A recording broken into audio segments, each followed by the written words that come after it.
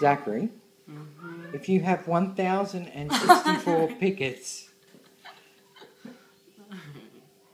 1,064 pickets, and 1,064 gaps, how many pickets do you have? Um,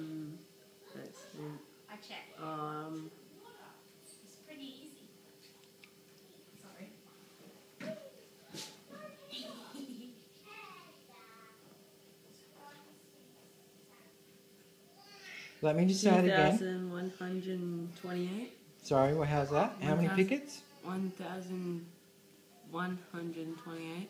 1,128. Because you would you times it by 2, wouldn't you? So then 1 times 2, 2. Wait, no. Um, 4 times 2 equals 8. 6 times 2 equals 12. Yeah, 12. And then 2 times 2 equals 2. So 2,128. So if I have 1,064 pickets and 1,064 gaps in this fence, we're actually going to need 2,128 pickets. I am Yes. so good at this. I did Uh, that in my brain. yeah, yeah. Okay, let me say this again. What you worked out was that there is 1,064 pickets. And it has 1,064 gaps between those pickets. How many pickets do you actually have? Uh,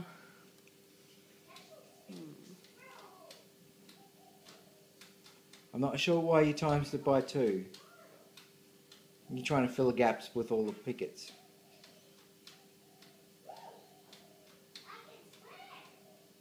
Why'd you times it by two? because you had two different things, and then when you divide it in half, and to get the answer. Yeah, you would. Um,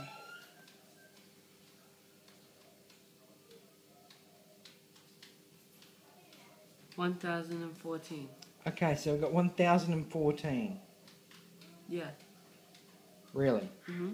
2,128 divided by 2 is 1,114.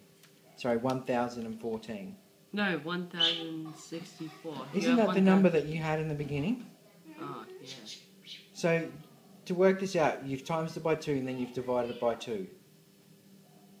Ah. So, how many pickets do you have for this fence? One thousand and sixty-four. Wasn't that in what I asked you in the beginning? No. I said 1,064 pickets and 1,064 gaps. How many pickets? Do you have? Oh.